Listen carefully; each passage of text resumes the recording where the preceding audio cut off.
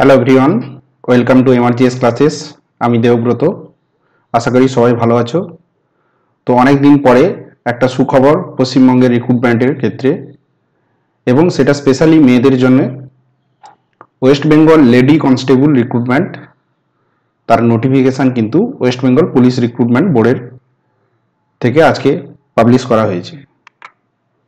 তো যদি দেখতে পাবে যে এটা হচ্ছে ওয়েস্ট বেঙ্গল পুলিশের ওয়েবসাইট এবং সেখানে আমরা যদি দেখতে পাই, এখানে দেখো recruitment of the post of lady constable in the West Bengal police অর্থাৎ পশ্চিমবঙ্গে মহিলা কনস্টেবল কিন্তু নিয়োগ করা হবে, তার একটা ইন্ডিপেন্ডেন্ট নোটিশ দিয়েছে।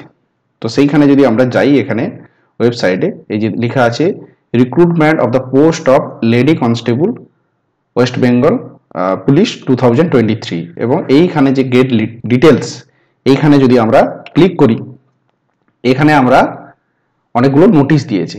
একটা দিয়েছে notice regarding recruitment to the post of lady constable in the West Bengal information to the applicants আর একটা দিয়েছে লিস্ট অফ সহজ রিটেল অর্থাৎ নোটিশটা দিয়েছে, এই নোটিশটা থেকে আমরা জানতে পারব যে নোটিশে কী কী ক্রাইটেরিয়া লাগবে, অর্থাৎ এই পুলিশ রিক্রুটমেন্টে পার্টিসিপেট করতে গেলে কি কি ক্রাইটেরিয়া দরকার, অর্থাৎ কোয়ালিফিকেশান কি দরকার, বয়স কত হতে হবে হাইট কত হবে এবং পরীক্ষাটা কীভাবে হবে কীভাবে পুরো নিয়োগ প্রক্রিয়াটা হবে, সেই সংক্রান্ত কিন্তু কতদিন ফর্ম ফিল চলবে, কত টাকা লাগবে ফর্ম ফিল করতে, তো পুরো কিন্তু প্রসিডিওরটা দিয়েছে। এবং ভ্যাকেন্সি কত এবং ভ্যাকেন্সিটা দিয়েছে চোদ্দোশো কুড়ি, আমি লিখেই দিয়েছি থামনেলে দেখতে পেয়েছ।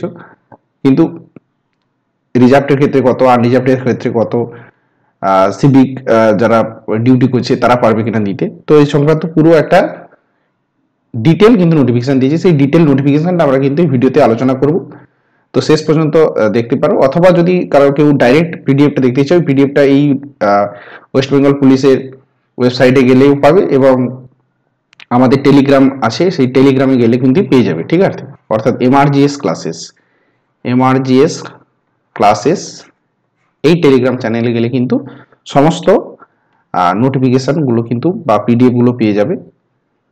এবং আমাদের চ্যানেলটাকে সাবস্ক্রাইব করে রাখতে পারো, কারণ পরবর্তী যে এই পুলিশ নিয়োগ সংক্রান্ত বা পরবর্তী নিয়োগ সংক্রান্ত সমস্ত আপডেট ক্লাস ইনফরমেশন পাওয়ার জন্য কিন্তু চ্যানেলটাকে সাবস্ক্রাইব করতে পারো, ঠিক আছে? তো এইটা হচ্ছে প্রথমে যে শর্ট নোটিশটা দিয়েছিল, সেটা দিয়েছি যে West Bengal police recruitment board Araksha Bhavan, সেখান থেকে দিয়েছে। Recruitment to the post of lady constable in West Bengal two তো এইভাবে দিয়েছে, তার এজ দেওয়া আছে, এগুলো আমরা ইন ডিটেলে আলোচনা করব। এটা হচ্ছে মেন ফুল নোটিফিকেশন যেটা। এই ফুল নোটিফিকেশনটা কিন্তু আমরা আজকে পড়ব। প্রথমে কি দিয়েছে name of the post and the pay scale অর্থাৎ পোস্টটার নাম হচ্ছে lady constable in West Bengal police two অর্থাৎ মহিলা কনস্টেবল পশ্চিমবঙ্গ যে রাজ্য পুলিশ, সেই রাজ্য পুলিশের মহিলা কনস্টেবল হিসাবে কিন্তু এই পরীক্ষার মাধ্যমে নিয়োগ হবে এবং এদের পে স্কেল হচ্ছে লেভেল সিক্স অর্থাৎ বাইশ হাজার সাতশো থেকে আটান্ন হাজার পাঁচশো। এবং ইন হ্যান্ড স্যালারি প্রায় এরা ধরে রাখো সাতাশ হাজার টাকাও কিন্তু প্লাস পাবে ইন হ্যান্ড যখন জয়েন করবে, ঠিক আছে? রিজার্ভেশন অফ ভ্যাকেন্সি ভ্যাকেন্সি কত আছে? তো টোটাল ভ্যাকেন্সি আমি বলেছি টোটাল ভ্যাকেন্সি হচ্ছে চোদ্দোশো কুড়ি। ভালো ভ্যাকেন্সি শুধুমাত্র ফিমেল মেয়েরাই পার্টিসিপেট করবে, ছেলেরা কোনো পার্টিসিপেট থাকবে না কম্পিটিশান তুলনামূলকভাবে কম হবে। সেক্ষেত্রে ভ্যাকেন্সি চোদ্দোশো কুড়ি কিন্তু অনেকটাই। কিন্তু এটাকে যদি আমি ব্রেক আপ করে দিই, অর্থাৎ কোন ক্যাটাগরিতে কত ভ্যাকেন্সি তাহলে সেটা আমরা দেখব। আনরিজার্ভ ক্যাটাগরিতে টোটাল ভ্যাকেন্সি হচ্ছে তিনশো তেতাল্লিশ three forty three unreserved exempted ক্যাটাগরির ক্ষেত্রে দুশো সাতাশ আনরিজার্ভ হোমগার্ড এবং এনভিএফ তাদের ক্ষেত্রে একশো তেরো আনরিজার্ভ সিভিক ভলেন্টিয়ারের ক্ষেত্রে একাত্তর আনরিজার্ভ স্পোর্টস কোটাতে আঠাশ শিডিউল কাস্টের ক্ষেত্রে ভ্যাকেন্সি একশো একচল্লিশ শিডিউল কাস্ট এক্সামটেড ক্যাটাগরির ক্ষেত্রে একশো শিডিউল কাস্ট হোমগার্ড এনভিএফ এর ক্ষেত্রে বিয়াল্লিশ শিডিউল কাস্ট সিভিং ভলেন্টিয়ারের ক্ষেত্রে উনত্রিশ শিডিউল ট্রাইবের ক্ষেত্রে টোটাল ভ্যাকেন্সি আঠাশ, তার মধ্যে আবার শিডিউল ট্রাইবের এক্সামটেড ক্যাটাগরির জন্য উনত্রিশ বেশি এখানে আবার। শিডিউল ট্রাইব হোমগার্ডের ক্ষেত্রে চোদ্দ এনভিএফ সিভিক ভলেন্টিয়ারের ক্ষেত্রেও চোদ্দ ওবিসি এর ক্ষেত্রে টোটাল ভ্যাকেন্সি সাতান্ন ওবিসি এ এক্সামটেড ক্যাটাগরি বিয়াল্লিশ আর হোমগার্ড এনভিএফ এর ক্ষেত্রে টোয়েন্টি নাইন আচ্ছা। ওবিসি এ সিভিক ভলেন্টিয়ার চোদ্দ। ওবিসি বি টোটাল তেতাল্লিশ। ওবিসিবি এক্সেমটেড আঠাশ। OBC OBC B home guard হচ্ছে চোদ্দ। আর সিভিক ভলেন্টিয়ার ওবিসি বি হচ্ছে চোদ্দ। এই হচ্ছে টোটাল ভ্যাকেন্সি হচ্ছে চোদ্দোশো কুড়ি ভ্যাকেন্সি ভালো ভ্যাকেন্সি মোটামুটি। তো এটা, এই ভ্যাকেন্সিটা টেন্টেটিভই হয়, পরে বাড়তে পারে, কমতে পারে, ঠিক আছে? আর এখানে যারা হোমগার্ড অথবা এনভিএফ এবং সিভিক ভলেন্টিয়ার হিসাবে যারা অ্যাপ্লাই করবে, তারা রিজার্ভেশনের সুযোগটা নেবে, তাদেরকে কিন্তু মিনিমাম এই যে এনভিএফ হোক বা হোমগার্ড হোক বা সিভিক ভলেন্টিয়ার, এদেরকে কিন্তু তিন বছরে কিন্তু মিনিমাম একটা সার্ভিস করে থাকতে হবে, ঠিক আছে? তিন বছরে সার্ভিস করতে হবে। Reservation of vacancy under exempted category home guard, NVF, civic volunteer sports quota will be horizontal in nature in case non availability of suitable candidate under those category, the vacancies will be matched to the respective category. মানে কি বলছে? অর্থাৎ ধরো exempted category যত vacancy আছে, ধরো পঞ্চাশ vacancy আছে আনরিজার্ভডের এইটা আছে পঞ্চাশ। ধরো পঞ্চাশ ফিল আপ হলো না, ধরো পঁচিশ হলো। বাকি পঁচিশটা কিন্তু ইউআর ক্যাটাগরিতে চলে যাবে। এটা ভালো। Length of the service of home guard and personal voluntary service West Bengal police shall be calculated as on এক এক দু অর্থাৎ হোমগার্ড এনভিএফ এবং সিভিক ভলেন্টিয়ার হিসাবে যারা কাজ করছে, তাদের যে তিন বছরের সার্ভিস পিরিয়ড হতে হবে, সেটাই এক এক দু এর মধ্যে কিন্তু তিন বছর হয়ে যেতে হবে। অর্থাৎ ফার্স্ট জানুয়ারি দু এর মধ্যে কিন্তু তিন বছর কমপ্লিট হতে হবে। আর কি বলছে? The applicants claiming as the NVF and home guard or civic volunteer in the application form must submit NVF অথবা home guard or civic volunteer enrolment certificate অর্থাৎ যারা ক্লেম করবে নিজেদেরকে যে আমরা এনভিএফ কাজ করছি বা হোমগার্ড বা সিভিক ভলেন্টিয়ার তাদের কিন্তু একটা প্রোফর্মা দিয়েছে। সেই প্রোফর্মাটা কিন্তু সেটা জমা করতে হবে। কখন? যখন ইন্টারভিউ হবে, তার আগে কিন্তু ফিল করতে হবে। নাহলে তখন কিন্তু তার ওই ক্যাটাগরির মধ্যে শেয়ার থাকবে না। এগুলো মোটামুটি বলে দিয়েছে। আর যারা স্পোর্টস পার্সন হবে, তাদের ক্ষেত্রে কি কি স্পোর্টসে হতে হবে? Athletics including track or field events badminton basketball cricket football, hockey, swimming, table tennis, volleyball, tennis, weightlifting, wrestling, boxing, cycling, gymnastic, judo, rifle shooting, kabaddi and kho kho এই সমস্ত খেলার যদি তাদের কোনো সার্টিফিকেট থাকে, বিভিন্ন ইন্টারন্যাশনাল হোক ন্যাশনাল হোক, সেক্ষেত্রে তারা কিন্তু এই স্পোর্টস কোটাতে এলিজিবল হবে। যেমন ইন্টারন্যাশনাল কম্পিটিশন বলে দিয়েছে, সেক্ষেত্রে কম্পিটেন্ট তাদের যে স্পোর্টস সার্টিফিকেট হবে secretary of the national federation R national association of the sports concern যে স্পোর্ট থাকবে। ন্যাশনাল কম্পিটিশন হলে তাদের ক্ষেত্রে secretary of the state association of the sports inter university tournaments হলে dean or director of sports of the officer overall charge sports of the university concern and national sports of the games for the school education যারা school education ক্ষেত্রে national স্পোর্টসে যাবে, তাদের ক্ষেত্রে এই এই অফিসারের কাছ থেকে কিন্তু সার্টিফিকেট লাগবে। অর্থাৎ যদি ইন্টারন্যাশনাল কম্পিটিশন করে তার সেই ইন্টারন্যাশনাল বা ন্যাশনাল যে ফেডারেশন আছে, তার যে সেক্রেটারি সেখান থেকে নিতে হবে সার্টিফিকেট ন্যাশনাল কম্পিটিশন হলে স্টেট যে অ্যাসোসিয়েশন আছে স্পোর্টস তার সেক্রেটারি থেকে। এবং ইন্টার ইউনিভার্সিটি টুর্নামেন্ট হলে সেখানকার যে ডিন ডিরেক্টর থাকবে কনসার্ন যে ইউনিভার্সিটি তার যে স্পোর্টস চার্জে থাকবে, তার কাছ থেকে।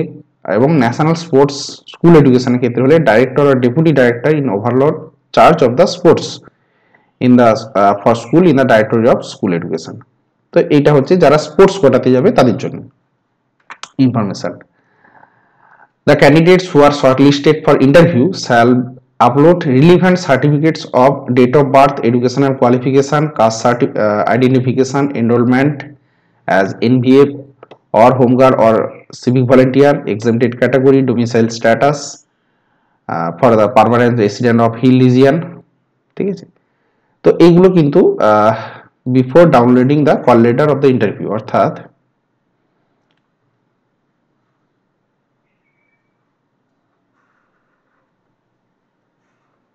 আচ্ছা তো যারা শর্ট লিস্টেড হবে ইন্টারভিউর জন্য, তাদেরকে কি করতে হবে? কিছু জিনিস আপলোড করতে হবে। কোথায় আপলোড করতে হবে? এই রিক্রুটমেন্ট যে ওয়েবসাইট থাকবে, সেখানে আপলোড করতে হবে। আগে নোটিশ দিয়ে দেবে তার আগে।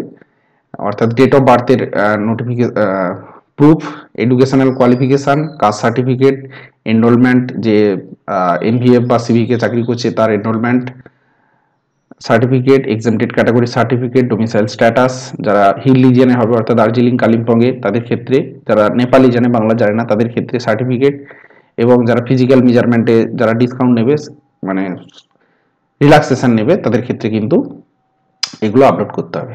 এবার আসি এই যে রিক্রুটমেন্ট হবে পুলিশ রিক্রুটমেন্ট তার এলিজিবিলিটি কি হতে হবে? অর্থাৎ কোন এলিজিবিলিটি পেলে সে এটার জন্য পরীক্ষায় বসতে পারবে? প্রথম কথা তাকে একজন ভারতের নাগরিক হতে হবে সিটিজেন অফ ইন্ডিয়া এবং তার বয়স কি হতে হবে? Applicant must not be less than eighteen years old and must not be more than thirty years old অর্থাৎ আঠারো বছরের কম হলে হবে না, তিরিশ বছরের বেশি হলে হবে না। এবং আঠারো থেকে তিরিশের মধ্যে এবং যে ডেটটা দিয়েছে এক এক দু অর্থাৎ এক এক দু অর্থাৎ পয়লা জানুয়ারি দু এর মধ্যে তাকে তিরিশের মধ্যে থাকতে হবে, ঠিক আছে? বয়সটা তিরিশের মধ্যে এবং আঠারো থেকে বেশি হতে হবে, সেক্ষেত্রে তারা কিন্তু এই পরীক্ষায় অংশগ্রহণ করতে পারে। অর্থাৎ বয়সটা লাগবে আঠারো থেকে তিরিশের মধ্যে এই এক এক তেইশ মানে এটা হচ্ছে deadline upper age limit shall be relax for the SC and ST applicants of the West Bengal only by five years and OBC applicants of West Bengal only by three years অর্থাৎ SC ST যারা থাকবে, তারা তিন বছর ছাড় পাবে, পাঁচ বছর ছাড়া পাবে, এবং যারা ওবিসি আছে, তারা তিন বছর কিন্তু রিল্যাক্সেশন পাবে। অর্থাৎ তেত্রিশ ম্যাক্সিমাম এজটা হবে এসসি এসটির ক্ষেত্রে পঁয়ত্রিশ।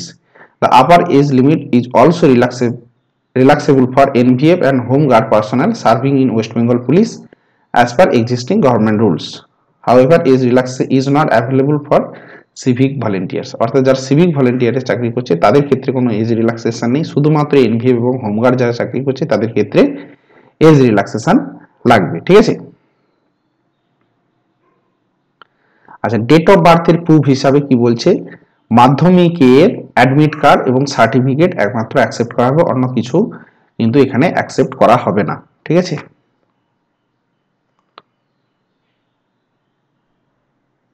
যারা ওবিসি এ এবং ওবিসি বি হবে। Candidate to the OBC A এবং ওবিসি বি যারা ইন্টারভিউর জন্য শর্টলিস্ট হবে মানে ডাক পাবে ইন্টারভিউতে তাদের ক্ষেত্রে কি হবে? ওই ওবিসি এ এবং ওবিসি বি রিনিউড যে সার্টিফিকেট সেটা কিন্তু প্রডিউস করতে হবে এক এক দু হাজার তেইশের মধ্যে, ঠিক আছে? ওয়ান ইয়ার প্রিসিডিং মানে এক এক দু হাজার তেইশের এক বছর আগের মধ্যে কিন্তু সেটা রিনিউড হয়ে থাকতে হবে। এটা দিয়ে দিয়েছে। অর্থাৎ সার্টিফিকেট ইস্যুড বিফোর এক এক দু হাজার বাইশ নিডস টু বি রিভ্যালিডেট অর্থাৎ renewed from the competent authority অর্থাৎ যদি কারোর এক এক দু হাজার বাইশের পরে এই সার্টিফিকেটটা রিনিউ করা থাকে, তাকে আর করাতে হবে কিন্তু তার আগে যদি হয় রিনিউ হয়, সেটাকে কিন্তু এখন রিনিউ করে নিতে হবে। এটা বলে দিয়েছে, নাহলে সেটাকে ইনভ্যালিড ধরে নেওয়া হবে। এগুলো আছে কন্ডিশন ঠিক আছে? এরপরে আসি এডুকেশনাল কোয়ালিফিকেশন তাহলে প্রথমে এজটা বোঝা গেল। এডুকেশনাল কোয়ালিফিকেশন কি হতো? মাধ্যমিক পাস প্লেন মাধ্যমিক পাস হতে হবে। ওয়েস্ট বেঙ্গল বাদবাকি হায়ার কোয়ালিফিকেশন হলেই তো হবে। মিনিমাম কোয়ালিফিকেশনটা কিন্তু তাকে মাধ্যমিক হতে হবে। এবার ল্যাঙ্গুয়েজ কি হতে হবে? ল্যাঙ্গুয়েজ হতে হবে, বাংলা জানতে হবে। স্পিক রিড অ্যান্ড রাইট অর্থাৎ বলতে পারতে হবে, পড়তে পারবে, লিখতে পারবে বাংলা ভাষা। তারা কিন্তু বুঝতে পারবে। আর কি? যারা হিল রিজিয়ান অর্থাৎ দার্জিলিং এবং কালিম্পং ডিস্ট্রিক্টের ক্ষেত্রে, তাদের ক্ষেত্রে কিন্তু ছাড় আছে। তাদের ক্ষেত্রে নেপালি ল্যাঙ্গুয়েজ যেহেতু, সেক্ষেত্রে তাদের ছাড় আছে। এইটা থাকলে কিন্তু সে পরীক্ষায় বুঝতে পারবে, ঠিক আছে? অ্যাপ্লিকেশন করতে পারবে। এরপরে এইখানে একটা ফিজিক্যাল স্ট্যান্ডার্ড দেওয়া আছে, ঠিক আছে? ফিজিক্যাল স্ট্যান্ডার্ড কি? এখানে একটা ফিজিক্যাল যেহেতু পুলিশের চাকরি, সেক্ষেত্রে একটা ফিজিক্যাল স্ট্যান্ডার্ড লাগবে। যেহেতু লেডি কনস্টেবল যারা সাধারণ ক্যান্ডিডেট তাদের ক্ষেত্রে কিন্তু হাইট হতে হবে একশো ষাট সেন্টিমিটার মেয়েদের ক্ষেত্রে একশো ষাট সেন্টিমিটার শুধুমাত্র মেয়েদেরই একশো ষাট সেন্টিমিটার এবং ওয়েট হতে হবে ফর্টি নাইন কেজি এবং যারা hill region Gorkha, Garhwal, Rajbanshi schedule tribe তাদের ক্ষেত্রে হাইট একশো বাহান্ন সেন্টিমিটার এবং ওয়েট পঁয়তাল্লিশ কেজি হতে হবে। চেস্টের ক্ষেত্রে এখানে দরকার নেই, যেহেতু ফিমেল ক্যান্ডিডেট এবার রিক্রুটমেন্ট কীভাবে হবে? Recruitment method method of recruitment অর্থাৎ এই যে রিক্রুটমেন্টটা কীভাবে হবে? এই রিক্রুটমেন্টের যদি আমরা দেখি টোটাল চারটে ধাপ আছে। কি কি আছে? প্রথমে হবে প্রিলিমিনারি টেস্ট ঠিক আছে? তারপরে হবে ফিজিক্যাল মেজারমেন্ট টেস্ট পিএমটি এবং ফিজিক্যাল এফিসিয়েন্সি টেস্ট এটা একসঙ্গে হবে দুটো। তারপরে হচ্ছে ফাইনাল রিটিন এক্সামিনেশান তিনটে। তারপরে হচ্ছে ইন্টারভিউ তারপরে ফাইনাল সিলেকশান অর্থাৎ চারটে। প্রিলিমিনারি পিএমটি এবং পিইটি e দুটো। Main exam final written exam যেটা মেন বলি আমরা এবং ইন্টারভিউ টোটাল চারটি হবে। এবার চারটের পদ্ধতি, প্রথমে কি হবে? একশো নম্বরের একটা পরীক্ষা হবে, যেটাকে আমরা প্রিলিমিনারি টেস্ট বলি। এই প্রিলিমিনারি টেস্টে একশো নাম্বারের মধ্যে তিনটে সাবজেক্ট থাকবে, অর্থাৎ একশোটা কোশ্চেন একশো নাম্বার থাকবে হান্ড্রেড কোশ্চেন হান্ড্রেড কোশ্চেন থাকবে হান্ড্রেড মার্কস থাকবে, প্রত্যেকটা এক নাম্বারের কোশ্চেন থাকবে, এবং সেখানে নেগেটিভ মার্কিং থাকবে ওয়ান ফোর্থ ঠিক আছে?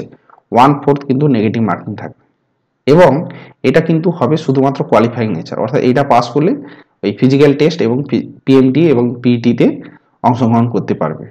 ঠিক আছে? এবং কোশ্চেন পেপার দুটো ভাষাতে হবে এবছর থেকে, বাংলাতে হবে এবং নেপালিতে হবে। ঠিক আছে? হিন্দিতে কিন্তু এবছর হবে না। আগে যেটা হতো, হিন্দিতেও কিন্তু থাকতো।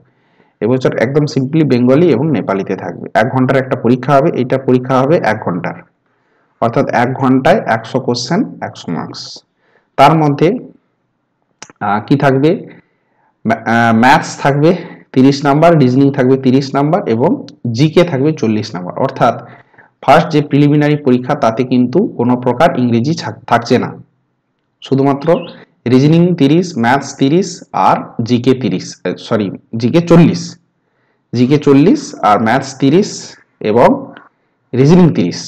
এই টোটাল হচ্ছে একশো নাম্বারের একটা পরীক্ষা। হবে এই পরীক্ষায় পাশ করলে পরে সে ডাক পাবে ফিজিক্যাল মেজারমেন্ট টেস্ট এই ফিজিক্যাল মেজারমেন্ট এবং physical efficiency test physical measurement টেস্টে কি বলেছি? একশো ষাট সেন্টিমিটার হাইট হতে হবে আর ফর্টি নাইন কেজি ওয়েট হতে হবে।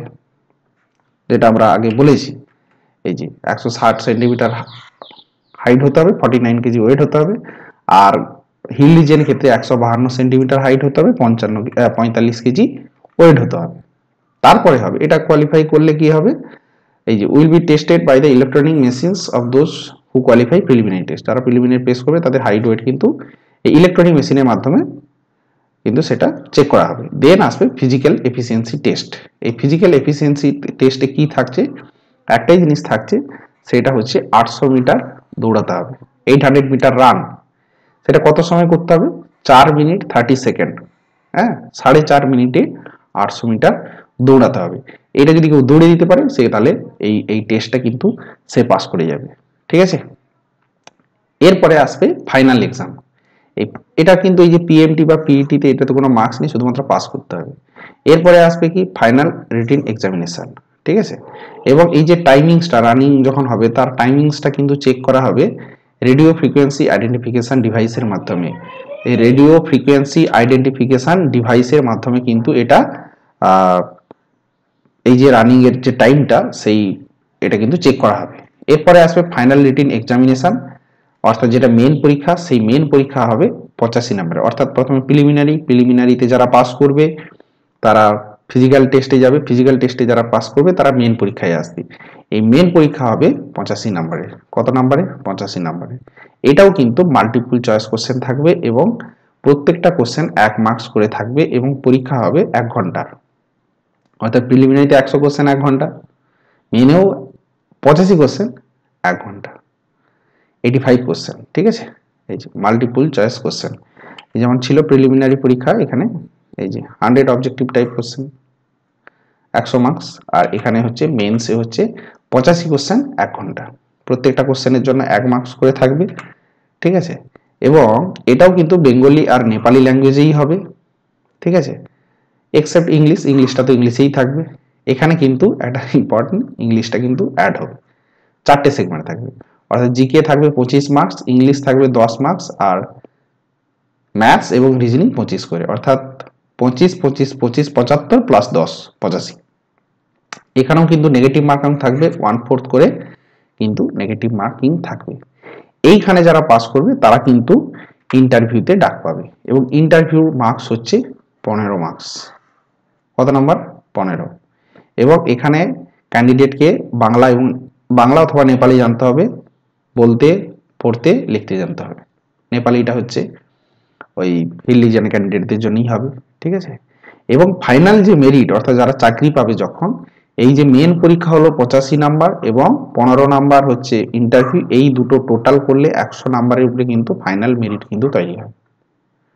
ফাইনাল মেরিট কিন্তু এই একশো নাম্বারের কিন্তু উপর তৈরি হবে। তারপরে এ তো সিলেকশন হয়ে যাবে, তারপরে ভেরিফিকেশন হবে, তারপরে মেডিকেল হবে মেডিকেল টেস্ট হবে অথরাইজড মেডিকেল এক্সামিনেশন স্টেট গভর্নমেন্টের যে হসপিটাল সেখান থেকে হবে মেডিকেল তারপরে সে অ্যাপয়েন্টমেন্ট পাবে এবং অ্যাপয়েন্টমেন্ট অথরিটি হচ্ছে এআইজি অফ পুলিশ এবং অথবা এসপি অফ পুলিশ ঠিক আছে? এটা হয়ে গেল রিক্রুটমেন্ট পুরো প্রসেস এরপরে পিরিয়ড অফ অ্যাপ্লিকেশন অর্থাৎ অ্যাপ্লিকেশন কতদিন করা যাবে? অ্যাপ্লিকেশন করা যাবে তেইশ চার দু হাজার তেইশ থেকে। তেইশ চার দু হাজার তেইশ থেকে বাইশ পাঁচ দু হাজার তেইশ, অর্থাৎ তেইশে এপ্রিল থেকে বাইশে মে। তেইশে এপ্রিল থেকে বাইশে মে, অর্থাৎ আজকে হচ্ছে মাত্র ইলেভেন্থ এপ্রিল। ঠিক আছে? এখনও বারো বারো তেরো দিন বাকি আছে। তারপরে কিন্তু অ্যাপ্লিকেশনটা শুরু হবে। ঠিক আছে? এবং এই অ্যাপ্লিকেশানটা কিন্তু ফিল করতে হবে। এই বলে দিয়েছেন the applications are strongly applicants are strongly advise to submit their applications well in advance without waiting for the last date and uh, time of the submission to avoid delayed submission due to the server problem or any other technical glitches. অর্থাৎ আগে থেকেই বলে দিচ্ছে যে যখনই অ্যাপ্লিকেশনটা শুরু হবে তেইশ তারিখ থেকে তখনই যেন তারা ফর্মটা তাড়াতাড়ি প্রথমের দিকেই ফিল আপ করে দেয়। অনেকে কি করে শেষ পর্যন্ত বসে থাকে ফর্ম ফিল আপটা করব কীভাবে করব? প্রথমে এক দুদিন দেখে নেওয়া উচিত যে কীভাবে কি হচ্ছে জিনিসটা। তারপরে কিন্তু প্রথমের দিকেই অর্থাৎ প্রথম সাত দিনের মধ্যে কিন্তু ফর্মটা ফিল আপ করে দিতে হবে। নাহলে কিন্তু কি হবে? শেষের দিকে অনেক অনেক সময় সার্ভার ডাউন হয়ে যায়, সেক্ষেত্রে ফর্ম ফিল করা যায় না পেমেন্টের সমস্যা হয়ে যায়, ইত্যাদি এগুলো সমস্যা হয়। এবার এই অ্যাপ্লিকেশন ফিজ কত লাগবে, এটা ফর্ম ফিল করতে, অর্থাৎ ফর্ম ফিল করা যাবে তেইশ তারিখ থেকে বাইশে মে পর্যন্ত। অ্যাপ্লিকেশন ফি কী হবে? অ্যাপ্লিকেশন ফি হবে সমস্ত ক্যাটাগরির জন্য শুধুমাত্র শিডিউল কাস্ট শিডিউল টাইপ বাদ দিলে হচ্ছে অ্যাপ্লিকেশান ফি দেড়শো টাকা প্রসেসিং ফি কুড়ি টাকা টোটাল হচ্ছে একশো দশ টাকা। শিডিউল কাস্টের ক্ষেত্রে অ্যাপ্লিকেশন ফি লাগবে না প্রসেসিং ফি কুড়ি টাকা, অর্থাৎ কুড়ি টাকা লাগবে। শিডিউল টাইপের ক্ষেত্রেও শুধুমাত্র কুড়ি টাকা লাগবে, ঠিক আছে? এটা হচ্ছে কুড়ি টাকা লাগবে।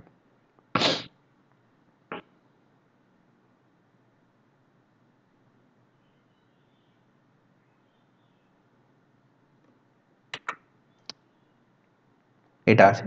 এরপরে কি করে ফর্ম ফিল করা যাবে? ফর্ম ফিল করা যাবে ওয়েস্ট বেঙ্গল পুলিশ রিক্রুটমেন্ট বোর্ডের যে ওয়েবসাইট, অর্থাৎ এইচ ইন এই ওয়েবসাইটের মাধ্যমে কিন্তু এই ওয়েবসাইট ইন অথবা West Bengal police WB police dot gov dot in এই দুটো ওয়েবসাইটে গেলেই কিন্তু আমি প্রথমে দেখিয়েছিলাম, সেখানে কিন্তু গেলে কিন্তু ফর্ম ফিল করা যাবে এবং ফর্ম ফিল যে পেমেন্ট সেটা debit card credit card net banking UPI অ্যাপের মাধ্যমে কিন্তু এগুলো করা যাবে, অর্থাৎ পেমেন্ট করা যাবে। আর কি করতে হবে? একটা recent colour photo file photo লাগবে। এটা কিন্তু খুব important applications are required to upload their recent passport size photograph অর্থাৎ photo colour photo and scan copy of the full signature অর্থাৎ দুটো জিনিস লাগবে। একটা হচ্ছে ফটো এবং সিগনেচার দুটো কিন্তু স্ক্যান করে দিতে হবে। জেপিজি ফরম্যাটে দিতে হবে।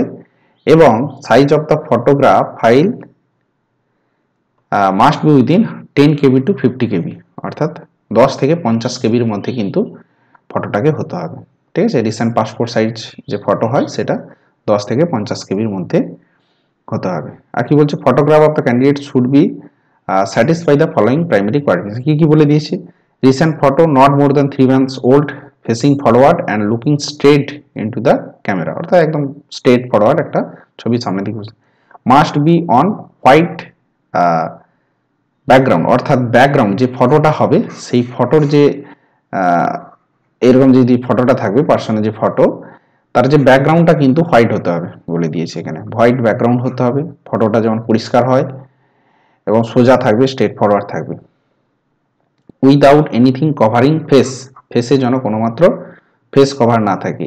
In clear contrast to the background without head covering অর্থাৎ হেডে কোনো কভার থাকবে না, সে ওড়না হোক, টুপি হোক, এগুলো দিয়ে কিন্তু হেডে কোনো কভার থাকবে না। With eyes open visible and free from reflections or glare from a glasses অর্থাৎ অনেকে গ্লাস পরে ছবিতে চশমা থাকে যেমন, আমার চশমা আছে, কিন্তু কিন্তু চশমার যে রিফ্লেকশনটা যেন না থাকে। হ্যাঁ with your eyes not covered by the sunglasses tinted glasses, glass frame or look of hair অর্থাৎ কি বলছে, চোখ দুটো যেন সানগ্লাস তারা এখন গরম কেউ সানগ্লাস পরে ছবি তুলে দিয়ে দিল সেটা করলে কিন্তু হবে না সেলফি তোলার মতন। তো সেক্ষেত্রে কি করতে হবে? সানগ্লাসটা বাদ দিয়ে কিন্তু ছবিটা তুলতে হবে। মোটামুটি এটা তো ম্যাট্রিমিনিয়াল সাইডে দেওয়া হবে না, এটা তো চাকরির পরীক্ষা, তো নর্মাল ছবি দিলেই হবে।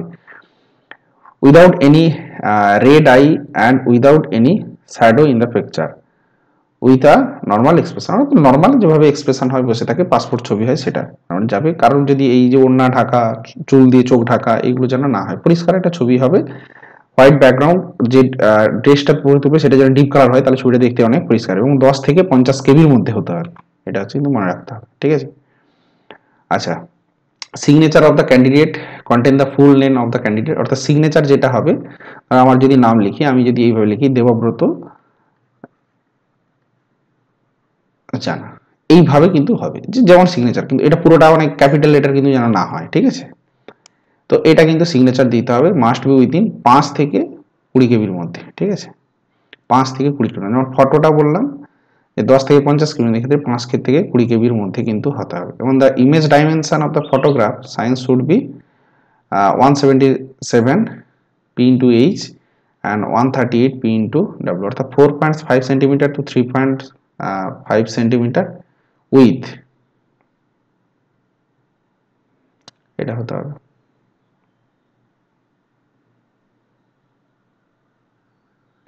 আচ্ছা এইটা হচ্ছে ফটো ডাইমেনশন হবে ফটো ফটো ফটো যেটা যখন আমরা পাসপোর্ট তুলতে যাব, দোকানে যারা তুলে দেয়, বলে বলে দিলে ওরা করে দিবে। Four point five to three point five R signature হতে হবে one point seven centimetre height থেকে nine point two centimetre with ঠিক আছে? এর মধ্যে হতে হবে এটা বলা আছে এটা যেন ঠিকঠাক দিতে হবে, কারণ এর কারণেই ফর্ম রিজেক্ট হয়ে যায়। চাকরির প্রথম ধাপ কিন্তু ফর্ম ফিল আপ করা, সেই ফর্ম ফিল আপ যদি ভুল হয়ে যায়, তাহলে কিন্তু খুব সমস্যা আছে। বিশেষত ছবি এবং সিগনেচারের জন্য অনেকে কিন্তু ফর্ম রিজেক্ট হয়ে যায়, ঠিক আছে? এবং সহজ সহজ মিত্র কেন্দ্রের মাধ্যমে কিন্তু করা যায়, এগুলো দরকার নেই।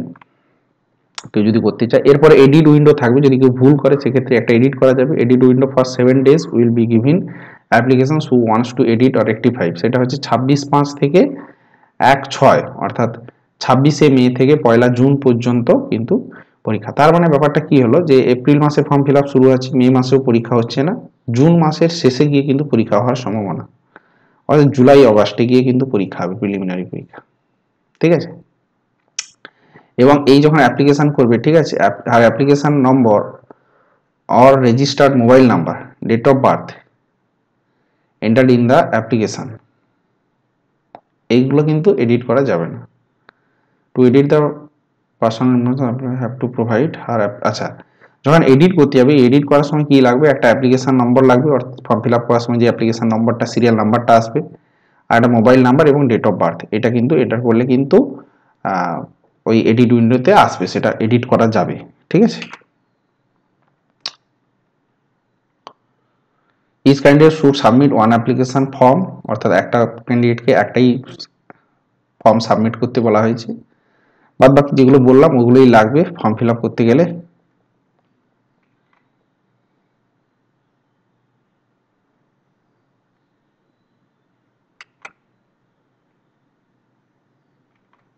আচ্ছা এগুলোই হচ্ছে মূলত জিনিস ছিল। বাদ বাকি এগুলো ফর্ম যেগুলো স্পোর্টসের ক্ষেত্রে এগুলো স্পোর্টস স্পোর্টস পারফর্মার দেওয়া আছে।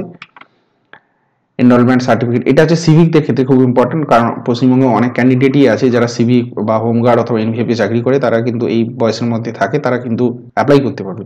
তাদের কিন্তু এই প্রোফর্মাতে তাদের যে সিনিয়র অথরিটি থেকে সেটা কিন্তু সাইন করাতে হবে, ঠিক আছে? অর্থাৎ যেমন প্রথমে কি আছে এখানে যেটাতে অংশগ্রহণ করবে full name father's name enrolment year name of the unit date of birth date of appointment has completed the three years কিনা সেটা বলছে ঠিক আছে মোবাইল নাম্বার ইমেল আইডি এবং signature of the NVF signature of the issuing authority or designation or with seal এবং number and date ইত্যাদি দিতে হবে ঠিক আছে তো এইগুলো কিন্তু আমাদের মূল একদম যে, যেটা পনেরো পাতার যে নোটিফিকেশান ডিটেল নোটিফিকেশান তার কিন্তু মূল ইনফরমেশান হচ্ছে এটুকুই। আমি আরেকবার ইন শর্টে সেটা বলে দিচ্ছি। প্রথম কথা হচ্ছে চোদ্দোশো কুড়ি ভ্যাকেন্সি ঠিক আছে? শুধুমাত্র মেয়েরাই এলিজিবল আঠারো থেকে তিরিশ বছর বাদ বাকি যারা এজে এজে ছাড় পাবে সেটা। এছাড়া আর কি পরীক্ষা হবে ফর্ম ফিল হবে, বাইশ থেকে, সম্ভবত বাইশ, তেইশ তারিখ থেকে, তাই তো? এবং সেটা হবে বাইশে মে পর্যন্ত, তেইশ তারিখ থেকে বাইশে মে পর্যন্ত কিন্তু এই ফর্ম ফিল ফর্ম ফিল করা যাবে, ঠিক আছে? পরীক্ষা হবে চারটে ধাপে, প্রথমে হবে প্রিলিমিনারি একশো নাম্বার এক ঘণ্টা, তারপরে হবে ফিজিক্যাল টেস্ট তারপরে মেইন হবে পঁচাশি নাম্বার এবং তারপরে হবে ইন্টারভিউ পনেরো নাম্বার এবং ফাইনাল মেরিট হবে কিন্তু এই ফাইনাল মেরিট কিন্তু এই কি বলে? মেন্স পঁচাশি নাম্বার এবং ইন্টারভিউ পনেরো নাম্বারের পরে কিন্তু হবে। ঠিক আছে? অ্যাপ্লিকেশন করা যাবে যেটা বললাম, তেইশ তারিখ থেকে বাইশ তারিখ। ফিজিক্যাল টেস্টে থাকবে আটশো মিটার দৌড়াতে হবে এবং সেটা সাড়ে চার মিনিটে। এবং মেয়েদের ক্ষেত্রে হাইট হতে হবে একশো ষাট সেন্টিমিটার ওয়েট হতে হবে উনপঞ্চাশ হিল ডিজাইনের ক্ষেত্রে একশো বাহান্ন এবং হাইট হতে হবে উনপঞ্চাশ কেজি। ঠিক আছে? এটাই হচ্ছে মূল জিনিস আজকে যে ফর্ম মেয়েদের জন্য একটা সুবর্ণ সুযোগ, বেতনও ভালো, মোটামুটি ছাব্বিশ থেকে সাতাশ হাজার টাকা ইন হ্যান্ড স্যালারি সার্ভিসের শুরুতেই পাবে প্রমোশনের সুযোগ পাবে, কম বয়সে যারা জয়েন করবে। হ্যাঁ তো এখনও ফর্ম ফিল আপ শুরু হয়নি যেহেতু তেইশ তারিখ। এখন থেকে প্রিপারেশন যারা এই, কারণ এর মধ্যে একটা তো ক্রাইটেরিয়া স্পেশাল থাকে হাইটের জন্য অনেকে কেটে যাবে ফর্ম ফিল আপ করতে পারবে না।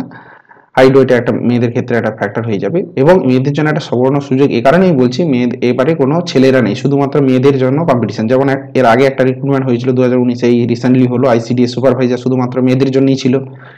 এটাও শুধুমাত্র মেয়েদের জন্য। তো সবাইকে বেস্ট অফ লাক প্রিপারেশনটা এখন থেকেই শুরু হোক। তাহলে চব্বিশের ভোটে আগে কিন্তু একটা জয়নিংয়ের একটা সুযোগ থাকবে, আশা থাকবে। সবাইকে best of luck form fill up ভালো করে করো। চ্যানেলটা যারা নতুন, তারা চ্যানেলটাকে অবশ্যই সাবস্ক্রাইব করো। এবং যারা যদি এই নোটিশ সংক্রান্ত আরও কোনো অসুবিধা থাকে, সেটা কিন্তু আমাকে কমেন্টে জানাতে পারো। আমি কিন্তু যথাসম্ভব চেষ্টা করব তার উত্তর দেওয়ার। ঠিক আছে? সবাইকে best of luck thank you দেখা হবে পরের ভিডিওতে